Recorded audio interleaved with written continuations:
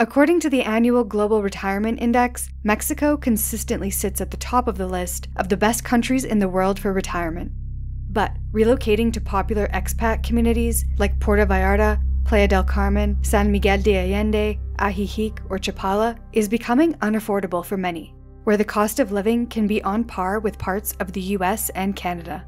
So, in this video, we'll explore seven underrated cities and towns in Mexico that haven't been overrun by foreigners, where it's still possible to live comfortably on less than $1,500 per month, or even less if you're an intrepid traveler who's not afraid of a little adventure. So, whether you're looking to retire or relocate, here's where you can still do it affordably in Mexico. And at the end of the video, I've got some resources for you that include everything you need to know about getting started with moving to Mexico so you can start your golden years stress free.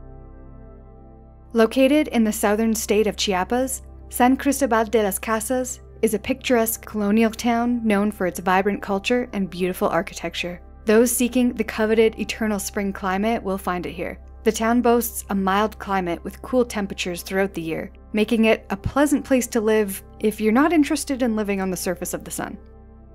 And being surrounded by the lush jungle found in Chiapas, its natural beauty is hard to ignore. The town offers a relaxed and laid back lifestyle, with its cobblestone streets, charming plazas, cozy cafes, and a lively art scene. And if you like coffee, the state of Chiapas is one of the largest coffee exporters in the world, so you're guaranteed to have an endless supply of good Java. As a very walkable city, you'll also be thrilled to know it's not very hilly compared to other popular mountain expat cities.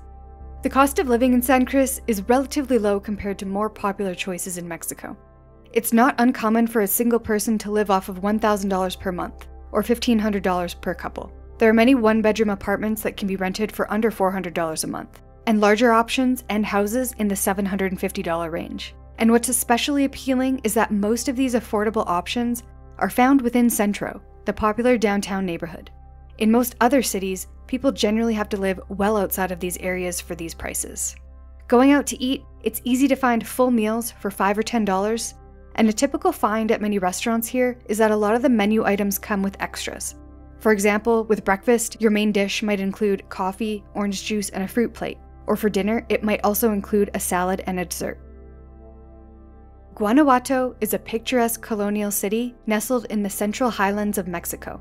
It's known for its rich history, vibrant culture, and stunning architecture. It's an appealing destination growing in popularity because it's got all the charm as the more popular San Miguel de Allende, but for half the price. If you never want to see a Senor Frogs again, you found your new home here.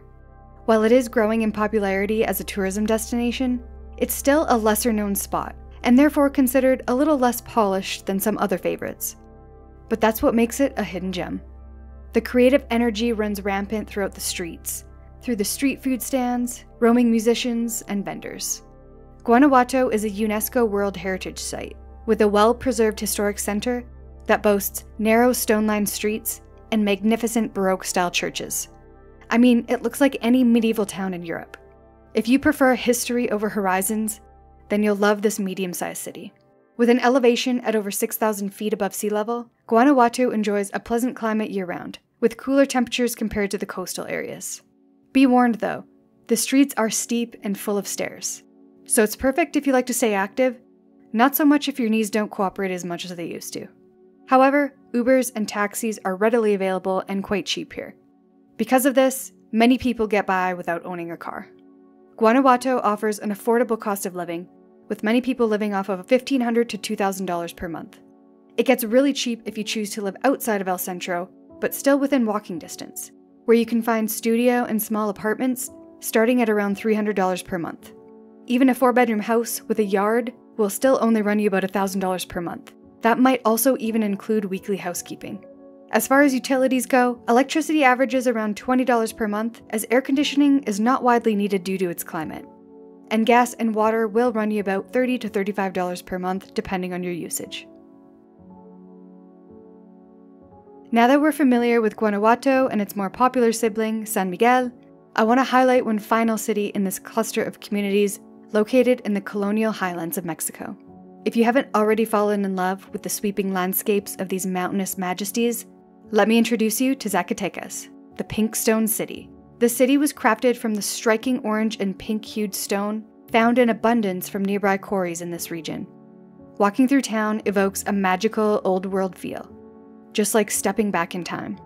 The magnificence of Zacatecas is epitomized by its 18th century cathedral, a triumphant structure with an ornately carved facade that serves as a testament to the town's former opulence. This region is well known for its silver mines, and Zacatecas is one of the world's largest producers of silver. While cost of living is on par with what you'll pay in Guanajuato, you'll find more opportunities for cheaper accommodations, due to this city still being a less popular option among expats.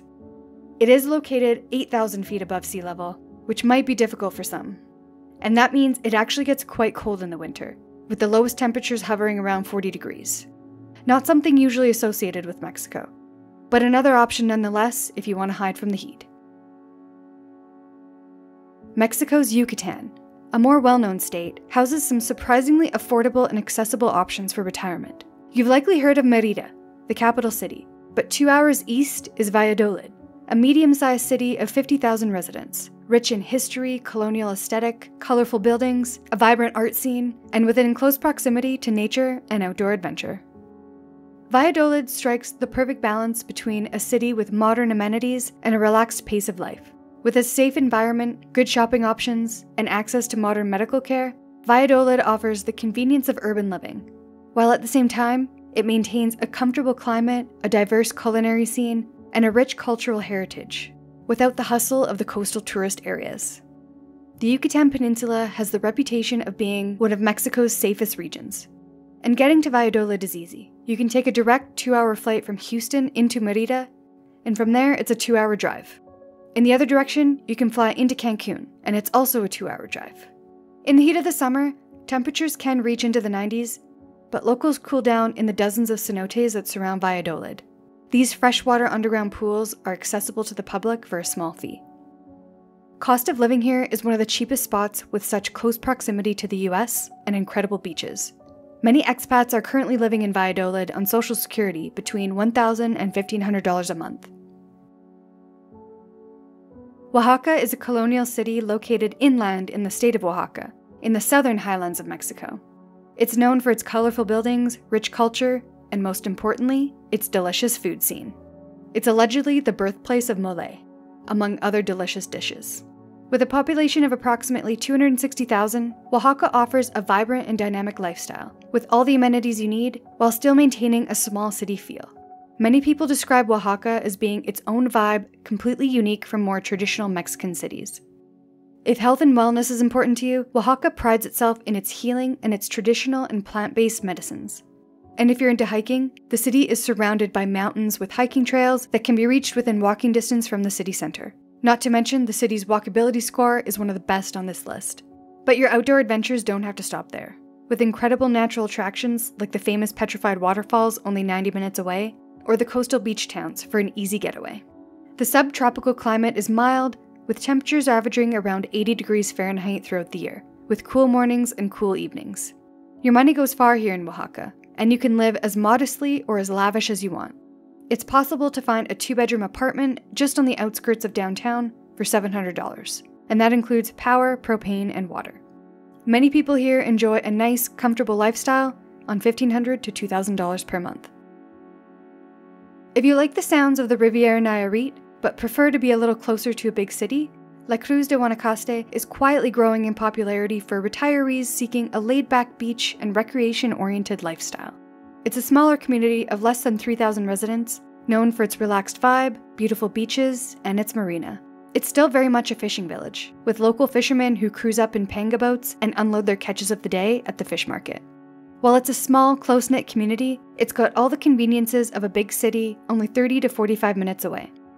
While it's important to support the local economy and small businesses, if you do need to visit the big box stores like Costco or Home Depot, they're only a short drive away. And the same goes for modern hospitals, where you can get appointments with specialists such as cardiologists and pay out of pocket for a reasonable fee. If you're interested in more of an active retirement, La Cruz has five golf courses within a 30 minute drive. There's several pristine beaches with shallow waters, like Playa Manzanilla, and a sizable marina for easy access to fishing. And on Sundays during the high season, La Cruz has one of the best markets in the entire bay. With the cost of living rising in nearby Puerto Vallarta, many people are finding more affordable rents and house and condo prices about 30 minutes from the city, and that's here in La Cruz. There are many one and two bedroom condos for rent between $500 and $1,200 per month. Further up the Riviera Nayarit coastline, you'll find Chacala, a hidden gem that offers many appealing features for retirement. Being a 90 minute drive from the Puerto Vallarta airport, Chacala has managed to retain its authentic Mexican charm and tranquility. Sitting at about 500 residents, with one of the nicest beaches along this stretch, it offers a peaceful and slow paced lifestyle, away from the hustle and bustle of the larger tourist center. Chacala is surrounded by lush tropical vegetation and offers endless opportunities to enjoy the natural beauty of the area. From hiking in the nearby Sierra Madre Mountains, to birdwatching, exploring the nearby estuaries and lagoons, and hot springs, there are plenty of outdoor activities to engage in. If beachside living is your ideal lifestyle, the beach in Chacala should be a draw for you. The sand is ultra soft, the water is crystal clear, and almost bathtub temperature. And because of the curve of the bay, the waves are always calm, or non existent.